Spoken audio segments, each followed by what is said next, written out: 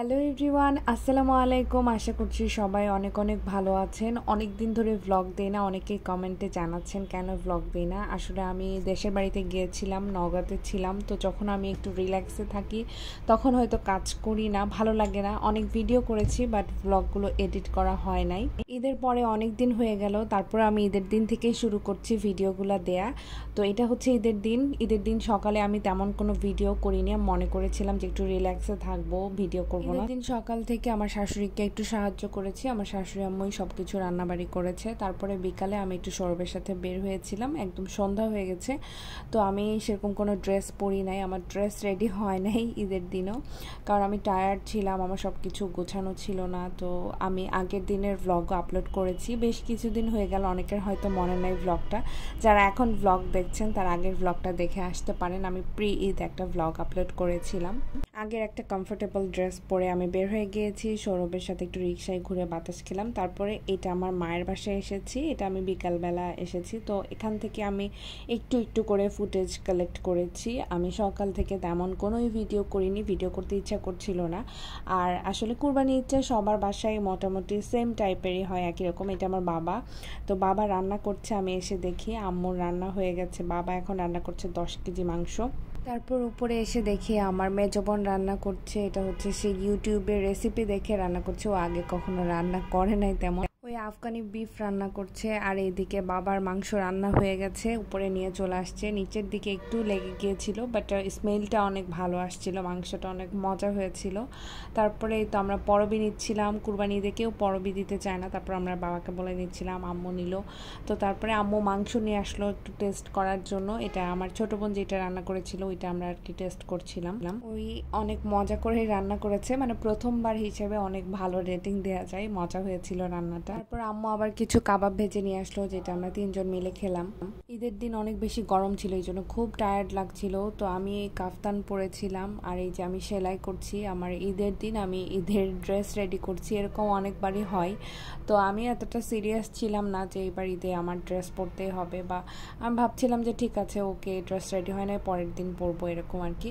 তো আমি বেশিরভাগ জিনিসই নিজেই তৈরি করি, অনেকে আমার ড্রেসের ব্যাপারে কোয়ারি করে, এই ড্রেসটার ছবি দেওয়ার পরে অনেকেই জিজ্ঞেস করেছিল।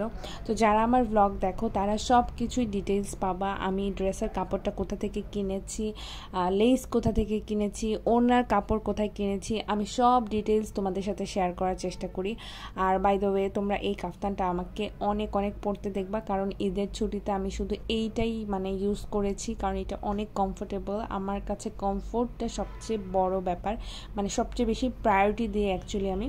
এই তো আমার ওড়না রেডি হয়ে গেছে। আমি টার্সেলগুলা সুতা দিয়ে লাগিয়েছি এবং এইখানে লেসটা যেভাবে দেখালাম, কেটে কেটে আমি ফ্লাওয়ারগুলো আলাদা করে এগুলো আমি আঠা দিয়ে লাগিয়েছি। তো এখানে আমি ফ্লোরে রেখে এগুলো আমি আটকাইলাম এবং এভাবে রেখে দিব কিছুক্ষণ আঠাটা শুকানোর জন্য। তারপরে আমার ওড়নাটি রেডি হবে। অনেকে আমাকে জিজ্ঞেস করছিল যে, আপু, ওড়না কোথা থেকে কিনেছো? আমি ওড়নাটা গজ কাপড় কিনে জাস্ট এইভাবে লেস কিনে লাগিয়েছি এবং সেলাই করে দুই মাথায় দুইটা লেস লাগিয়েছি। ওনার কাপড়টা একটু জোড়া পড়েছে। তারপরে আমি ভাত খাচ্ছি রাত্রেবেলা। আমরা এইবার ফার্স্ট টাইম ঈদ যেখানে আমরা হচ্ছে পোলাও খাই নাই, ভাত খাইছি কারণ অনেক গরম ছিল, খুবই বেশি হাঁসফাঁস লাগতেছিল, এই জন্য আমরা শ্বশুর বাসায়, আমার শ্বশুর বাসায় পোলাও রান্না হয় নাই, মার বাসায় হয় নাই। তো এখানে বাবার রান্না, আম্মুর রান্না, আমার ফুপির রান্না, এরকম আর কি সবার মাংস রান্না দিয়ে খাচ্ছিলাম। দেন এইটা হচ্ছে ঈদের পর দিন যেহেতু ঈদের দিন কিচ্ছু রান্না করি নাই, তো ঈদের পর দিন আমি একটু মাংস দিয়ে ঝাল পোলাও রান্না করেছিলাম। আর এটা হচ্ছে বিকালবেলা আমি রেডি হয়ে বের হয়ে গেছি। তো ফাইনালি আমার ড্রেস রেডি হয়ে গেছে। আর সৌরভের ম্যাচিং পাঞ্জাবি ছিল। যখন আমি প্যাকিং করি, তখন আমি পাঞ্জাবিটা দেখিয়েছিলাম। তো এটা আমি গছ কাপড় কিনে বানিয়েছি। অনেক আগে বানিয়ে রেখেছিলাম। রোজার ঈদের আগে অ্যাকচুয়ালি কিন্তু রোজার ঈদে এই ড্রেসটা পরা হয় নাই। কুরবানি ঈদে পরেছি। আর তোমরা জানাবে আমাকে কেমন লাগছে ড্রেসটা পরে। তো এখানে আমরা রিক্সায় করে ঘুরছি। যেহেতু অনেক গরম ছিল, আমরা একটু বাতাস খাওয়ার জন্য, ঠান্ডা হওয়ার জন্য রিক্সা নিয়ে বেশিরভাগ ঘুরি। নগাতে গেলে এটাই আরাম লাগে। ঢাকায় রিক্সায় ঘোরা কম হয়, কারণ অনেক বেশি জ্যাম থাকে। কোনো শর্ট ডিস্টেন্সের কোথাও বের হইলেও অনেক টাইম লাগে। তো এই তো সবারই ঈদ আনন্দ, সবাই ঈদের দিন বিকালে বের হয়েছে। তারপরে কুরবানি ঈদের দিন বিকালবেলা একটু ভিড় কম থাকে, রোজার ঈদে বেশি ভিড় রিক্সা নিয়ে ঘুরতে ঘুরতে এরকম একটা লোকেশনে দাঁড়াইলাম, যেখানে একটু ছবি তুলবো, একটা সুন্দর কোনো লোকেশন তো এই যে সূর্য ডুবে গেছে প্রায়। আর এই জায়গাটা আমার কাছে খুব ভালো লাগছিল। ছোট্ট একটা লেকের মতো ছিল, লেক না ঠিক, পুকুর বা ডোবার মতো ছিল। এই জায়গায় দাঁড়ালাম, দাঁড়ায় একটু কিছু ছবি টবি তুললাম। ছবি তোলা শেষ, তারপরে চলে যাচ্ছি। তো আমরা ম্যাক্সিমাম টাইমে এরকম করি, রিক্সা নিয়ে ঘুরি, ভালো কোনো জায়গা পেলে সেখানে দাঁড়িয়ে একটু ছবি তুলি। তারপরে আবার আমার মার বাসায় আসলাম। তো আমি যে কয়দিন নগাতে থাকি, আমার এটা প্রতিদিনের রুটিন বা আমি যখন যাই, ঈদের মধ্যে অন্য টাইমে যখনই যাই, সারাদিন শ্বশুরবাসায় থাকি, তারপরে বিকালবেলা একটু ঘুরতে বের হই, তারপর মার বাসায় আসি। তো এটা ছিল লাচ্চি গরমে এই লাচ্চিটা খেতে খুবই মজা লাগছিল। আর আম্মু তো পরোটা দিয়েছিল, আমার কাজিনরা এসেছিল, আমার কাজিন কাজিনের হাজব্যান্ড আর মাংস, সবার বাসায় মাংস এখন সকাল দুপুর রাতে। আর এই তো চালের আটার রুটি, খুব ভালো লাগে, এটা দিয়ে খাচ্ছিলাম। ঈদের পর দিন আম্মু আর বাবার একটা ডিনারের ইনভাইটেশন ছিল, তো আম্মুরা ওখানে যাচ্ছিল, আমরা আম্মুর বাসায় ছিলাম। তো এটা হচ্ছে আম্মুর আলমারি, এটা হচ্ছে বাবার আলমারি, দুইজন দুই সাইডে রেডি হয়ে আর কি।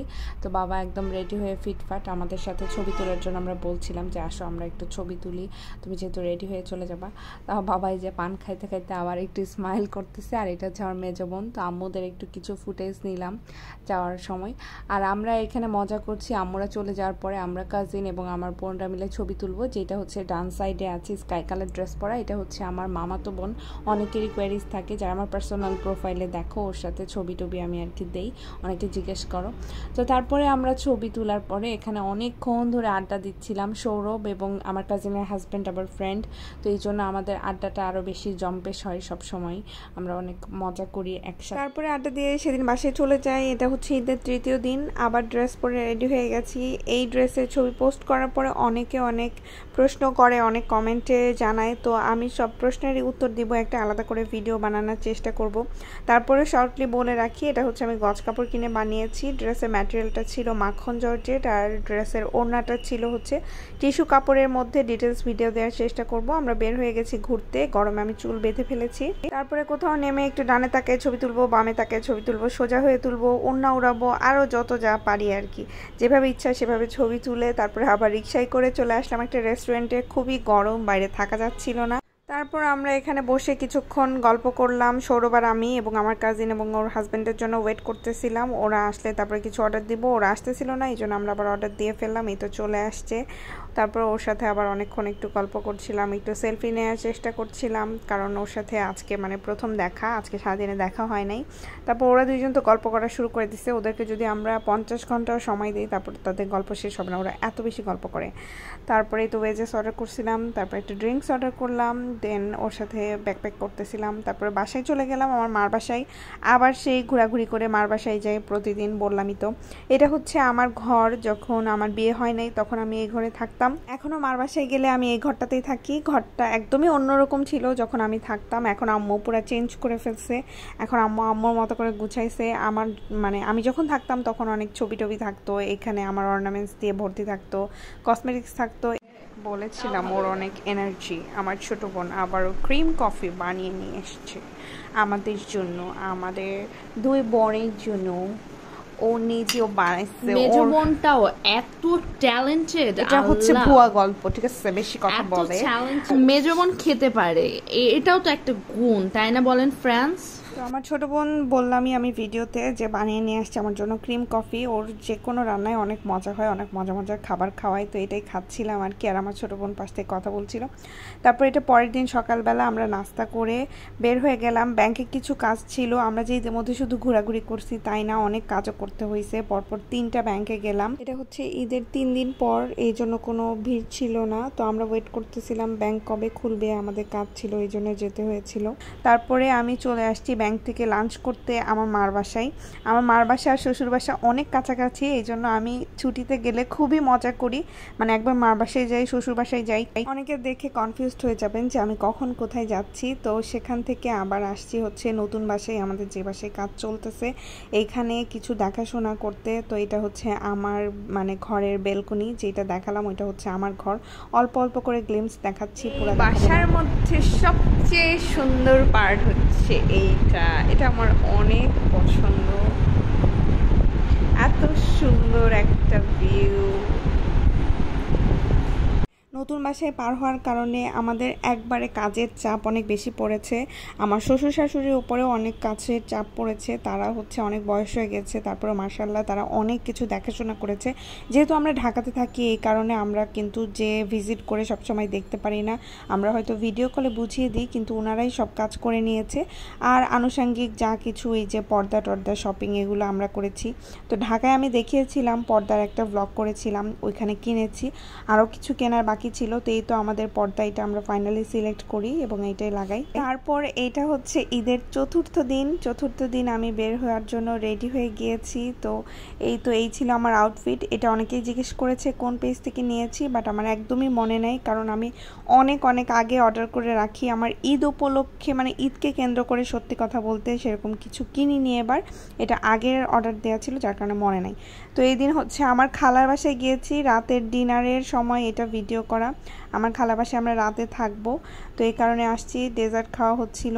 রাতে খাওয়া দাওয়া করার পরে তারপরে কেকটা আমার ছোট বোন বানিয়ে নিয়ে এসেছে। আমার খালাতো ভাই মামাতো বোন সবাই আমরা একসাথে লুডু খেলছিলাম। আমরা একসাথে হইলে ভাইয়ার কথা হচ্ছে সারা রাত কেউ ঘুমাইতে পারবে না। সবাই মজা করবে একসাথে। তো আমাদের খেলার কিছু ক্লিপস আপনাদের সাথে শেয়ার করছি কিছু মজা মজা ক্লিপস মানে অবস্থাটা দেখো খালি আমাদের চালাও তো আমি চালালে চালাইছো তো তুমি আমার চালালে করবে না এই যে ছয় আমার মারলেই ছয় ও মা দুই ছয় দুইজন দুটা বাইর করব না আরে এখানে আসবে এই এই তো দেখছ তুমি কথা বলো না কেন তোমার বাকি খেলব না ভাই আরে কি যন্ত্রণা খেলব না পারো আমরা তো কিছু বলি আগে কই দিচ্ছে তুমি একটু দেখো এই, আরে এটা কারা- আচ্ছা,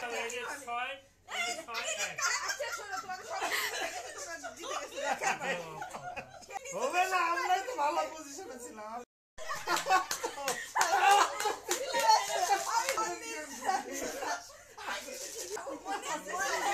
আমাদের গুটি সব ভিক্ষুক, ফকির, টাকা দাও।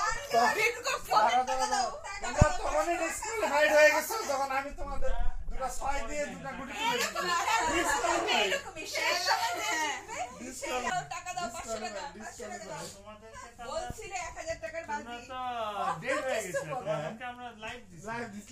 একটা দান বসে থাকতে হয়নি সাথে সাথে তিন পড়ে গেছে।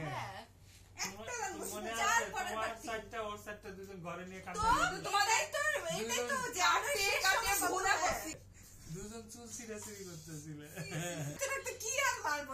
এদিক দিয়ে একটা ওদিক দিয়ে একটা ঢুকে দিচ্ছে খালি। তোমরা যে এত পরিমাণ বড় সিটে তো দেখতেই পেলাম এভাবে আমাদের রাত কেটে গেল। পরের দিন সকালে আমাদের সবার সবচেয়ে প্রিয় নাস্তা সাদা পোলাও আর মাংস তারপরে আলু ভাজি ডিম ভাজি আর ডাল ভর্তা। এই ছিল আমার ঈদের চার দিন। তোমাদের কেমন লাগল জানাবে এটাটা